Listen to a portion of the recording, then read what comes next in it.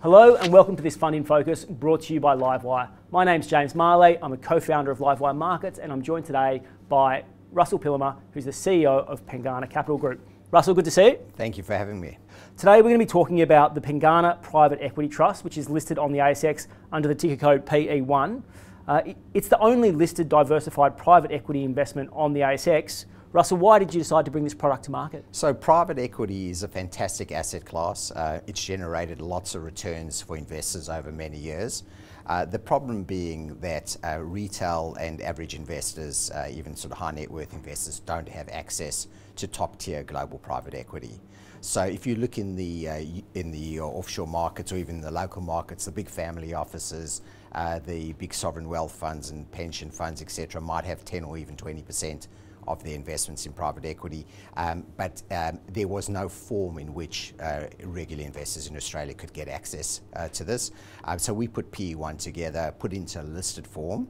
Uh, in order to bring that private equity to uh, to regular investors. Okay, so for people that that don't know about PE1, what's the philosophy behind the, the strategy behind the fund? If you get into the right private equity managers, you should be able to earn uh, nice sort of uh, you know mid-teens type returns um, over time, significantly more than you could earn in uh, listed equity markets, um, and that's because there's some sort of illiquidity premium as well as some benefits from investing with some of the best private equity uh, managers in the world. So if we can get uh, investments into those with those private equity managers and get a lot of them, so we're very diversified, we don't have to take uh, any major risk on any one particular manager, uh, that's a fantastic trade uh, for investors. So we bring that to investors and they are able to put that into their portfolios and not have not only this you know, high performing asset class, but also an asset class which has lower volatility than uh, listed equities as well.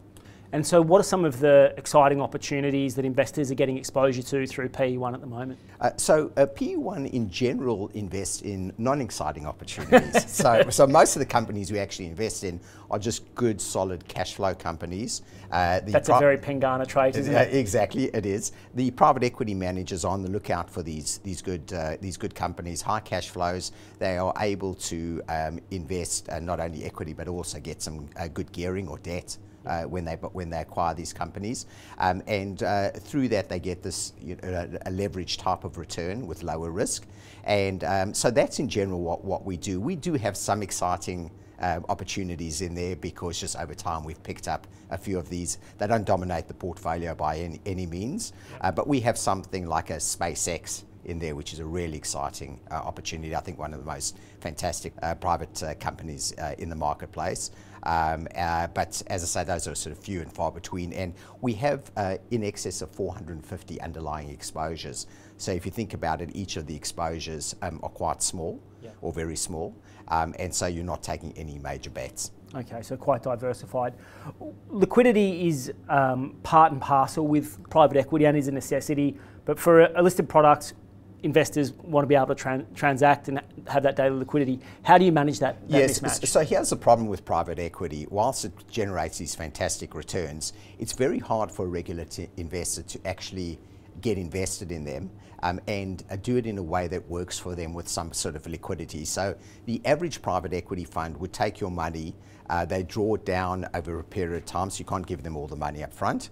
So they might draw it down over three or four years. They invest it for a while and then start giving it back to you. So the IRR um, of that or the rate of return is really good. Um, but investors are suffering from having to keep a lot of money in the bank until it's all called. They suffer from actually getting the money paid back to them when they'd rather the private equity manager just kept it in their funds and continued generating uh, these types of returns. And during that 10 year period, investors can't actually access their money. You can't go and cash it in. It's not like a listed equity where you can cash, cash it in. So you're stuck in this for a long time. Yeah. You can understand why that really appeals to a large family office or you know, sovereign wealth fund, etc. But for a regular investor, that lack of liquidity or that 10 year time horizon is just too much to bear. So, what we did is we put our private equity portfolio, which are, um, which are illiquid underlyings, we put them into a listed vehicle. So investors now can actually uh, trade in and out of private equity by trading in and out of the vehicle. So it's quite a simple solution. It's not unlike, uh, say, for instance, a, a property trust where um, properties are illiquid assets, but you put them into a property trust and therefore investors can get in and out of them, uh, in and out of the underlying exposure at any single point in time. So a similar type of concept. Yeah.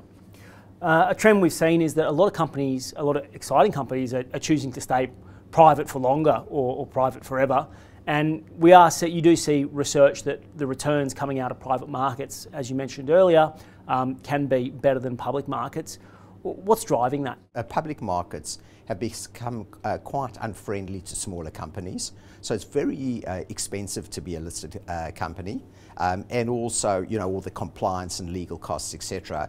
Um, but also, you find now that the uh, listed, listed market investors are focused on the big companies. So a lot of money is driven by indexes um, ETFs, etc. And so, uh, but that's all focused on the larger companies because they make up the majority um, of the index. So these small companies uh, get left behind.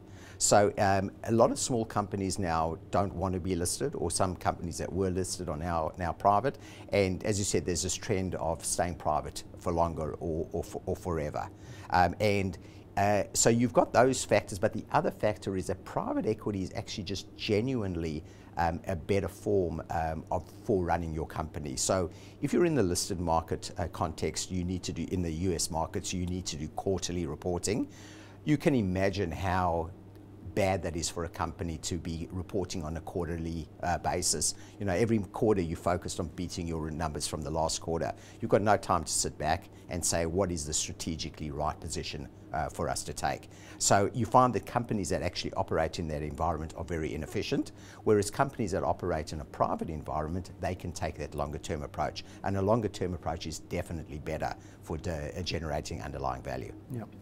Let's talk about the investor. What is the ideal investor for the fund or who does it suit? And what sort of time horizon should they be considering? This investment is for everyone. So it could be for a, just a regular investor who's got a couple of thousand dollars to invest, all the way up to a large family office who've got lots of money to invest and want to get into private equity and want to get, get into it right here and now. So um, a, a, lot of those really larger investors like the family offices um, they, um, uh, they don't like the, the drawdown nature of funds and they actually want to get set right here and now, thinking that this is a good environment in which to have your money in the ground. And with P1, you can get into that uh, straight away. So it, it suits um, the full range um, um, of investors. In terms of the uh, time frame, uh, we always say that you should invest for at least a cycle, which may, might be five or seven uh, years uh, through a cycle. But really, um, with, with, with P1, you have that flexibility to be able to get in and out. And the price hopefully is reflective um, of the underlying values. From time to time, there might be a little bit of a disconnect. Uh, but in general, you're able to be master of your own destiny and decide uh, you know, how long you want that period to be. Okay, well, let's take that long term view. If to look out over the next decade. What do you think are, are some of the, the, exciting opportunities in private equity? You mentioned earlier about staying private for longer or never going public. So there's a lot of um, companies that will transition, family-owned companies that will transition to the next generation. Um, and a lot of that is looking for private capital. Um, so the private equity players uh, play very well in that space, and you'll find there's a there's a lot of that activity um, coming coming to market. Um, so if you with those private equity funds who focus on those businesses, you should be able to do pretty well from the range of opportunities. Uh, the other thing is that these companies who do stay private for longer are constantly looking um, for other sources of capital. Um, uh, you might find situations where there's secondary sales where they can't actually, they don't want to go to market, but the underlying investors actually need to exit for, for whatever reasons, for their own purposes. Um, and so uh, if you can do well in private equity secondaries, um, you can usually buy these secondaries at discounts in the marketplace for some structural reasons. Um, not only do you get the really great returns that are coming from private equity, uh, but you're always, also able to actually pick them out uh, as a, a, on a discount basis to begin with. So you can get a super normal type of return uh, from the secondary market. Well, Russel, thank you very much for coming in and joining us today and giving us a bit of background on the Pengana Private Equity Trust. For those of you watching at home, the ASX code is PE1. Russel, thanks again. Thank you.